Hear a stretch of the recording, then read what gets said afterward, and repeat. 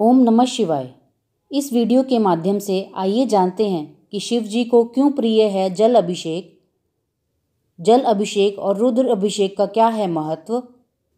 विभिन्न राशियों के अनुसार कैसे कैसे जल अभिषेक करना चाहिए? और सावन के महीने में जल अभिषेक करने से क्या क्या फल प्राप्त होता है? आइए जानते हैं। देवों के देव महादेव का प्रिय महीना सावन इस साल चार जुलाई से शुरू हो रहा है। वैसे तो पूरे सावन में शिव जी का जल अभिषेक किया जाता है। इसमें सोमवार का दिन विशेष माना जाता है।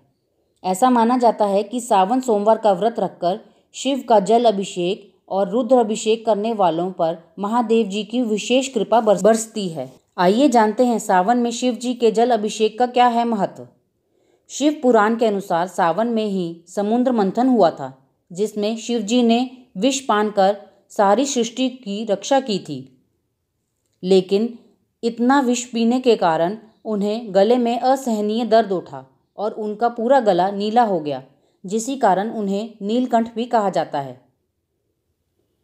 इस विष के प्रभाव को कम करने के लिए सभी देवी देवताओं ने उन्हें जल अर्पित किया। यही वजह है कि सावन में शिवलिंग का जल अभिषेक करने का निधान है। माना जाता है कि सावन में शुभ तिथियों पर शिवलिंग पर जल अभिषेक किया जाए तो व्यक्ति के सारे दुख दोष रोग दूर हो जाते हैं। आइए जान लेते हैं सावन में शिव जी को जल चढ़ाने के कुछ नियम। पहला, जल चढ़ाने का पात्र। शास्त्रों में बताया गया है कि शिवलिंग पर जल चढ़ाने के लिए तांबे, कांसे या चांदी के पात्र सबसे अच्छे माने जाते हैं।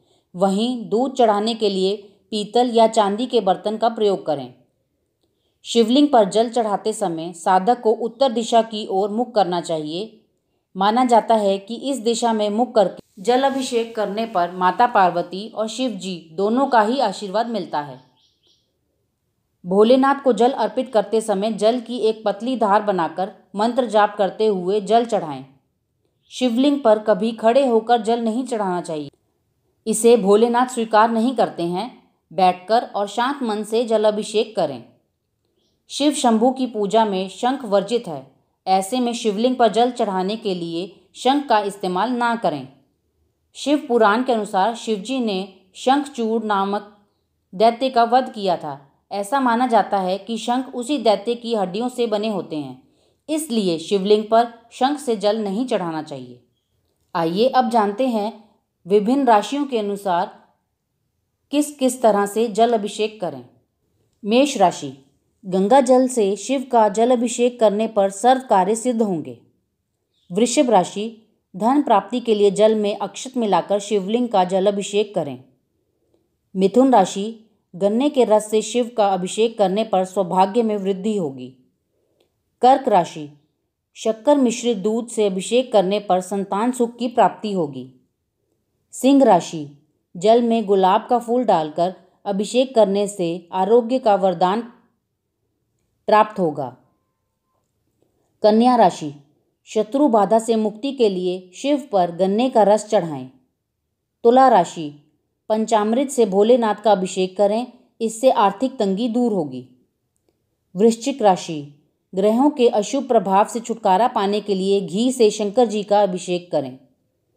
धनु राशि, वैवाहिक जीवन में सुख शांति के लिए शहद से महादेव जी का अभिषेक करें। मकर राशि।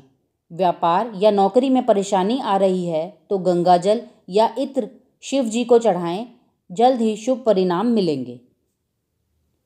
कुंभ राशि। जन्म मरण के चक्र से छुटकारा पाने के लिए गंगा जल से भगवान भोलेनाथ का रुद्र अभिषेक करना उत्तम माना गया है। मीन राशि।